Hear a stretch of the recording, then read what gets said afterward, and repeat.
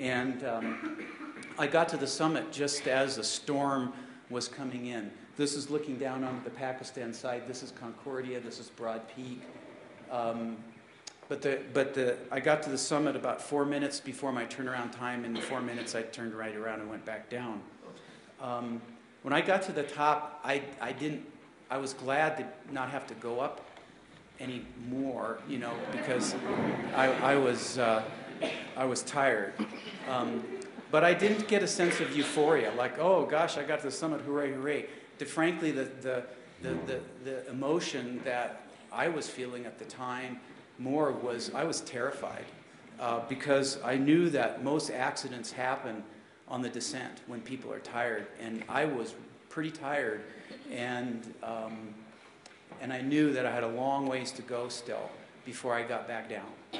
And so I headed back down, and I ran into Greg Child. He was probably 20 minutes behind me on his way up still with uh, Greg Mortimer.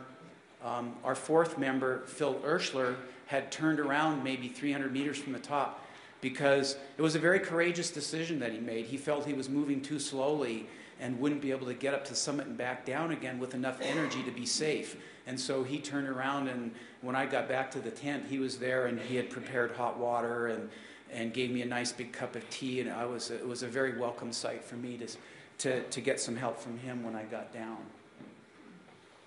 That night, at this big storm that was just blowing in when we got to the top, came in in its full fury, and we fought our way down um, uh, off the mountain. It took us two days. Um, and when we got to the bottom, um, our Pakistani um, members uh, cooked this big feast for us, and uh, uh, and that was when uh, when when I knew that I was going to be safe, and I could see that we were dropping out of the clouds to the glacier below, and people were coming up uh, to help us. That you know, this was my third time on the mountain. I probably spent over a year of my life on the mountain trying to climb it. That this overwhelming emotion of of of of, of all the built up stress, all of the, the, the time, you know, that I put into it. And maybe especially because on 86 I had two great friends, you know, who, when I was on the mountain the second time in 87, disappeared on Mount Logan. And I, what I forgot to mention when I got to the summit, another friend of mine had given me a couple of palm crosses. And, uh, and when I got to the summit, I pulled them out of my down suit and let them go, you know, kind of in remembrance of my friends. And just all of those thoughts, you know, came to me as I saw that I was going to be safe.